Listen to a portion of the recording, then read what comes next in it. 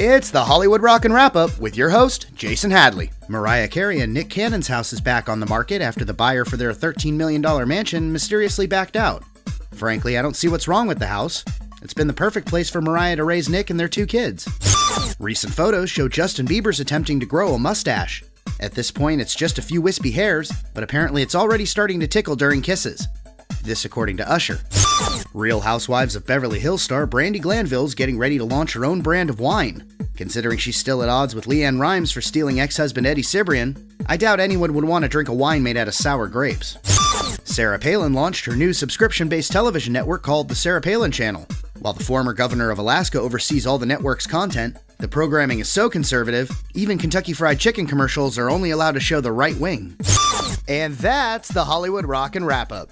Follow us on Twitter at Rockin' Wrap Up.